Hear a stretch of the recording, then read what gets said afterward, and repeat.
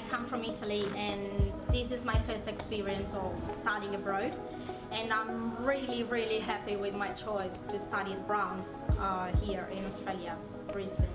It's not really easy to live, you know, far from home and families and friends, but here in Browns I really got used to it because of the family atmosphere you can feel in the air and and the whole staff is always ready to help students and support them. So you can really feel at home, you can really feel in a good atmosphere and good vibes. I really believe that my path here in Browns will help me to continue with my study with success because of the knowledge and all the preparation acquired here.